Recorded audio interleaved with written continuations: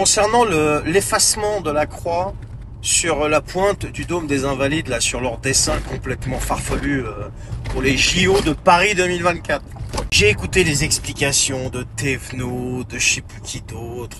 Après, vous me direz, quand vous voyez euh, le gars qui a dessiné ça, quand vous regardez ses œuvres, si on peut appeler ça des œuvres, vous avez vite compris. S'ils ont commandé un dessin via ce mec-là, c'est pas pour rien, c'est parce que c'est les mêmes. Et comme le dit, je crois que c'est un ministre italien, c'est pas de la laïcité, c'est de la stupidité.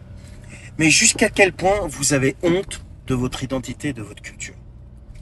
Jusqu'à quel niveau en fait? Le niveau de honte de votre identité et de votre culture, et je m'adresse à la Macronie, hein, je m'adresse aux gauchistes, aux socialistes. Jusqu'à quel niveau la honte est arrivée chez vous?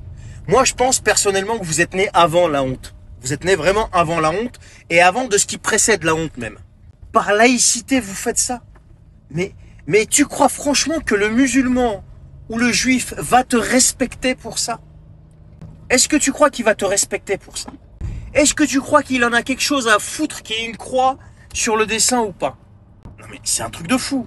Et je dirais même plus que le musulman ou le juif ou autre confession te respectera plus si tu respectes ton identité. C'est là que tu seras respectable et respecté. Or jusqu'à présent, si t'es pas respecté et respectable, c'est parce que tu passes ta vie à renier ton identité. Tu sais même plus qui tu es. Tu sais même plus qui tu es, petit macroniste. Un globaliste, un mondialiste, un tout ce que tu veux, mais tu sais même plus qui tu es, où est-ce que tu habites.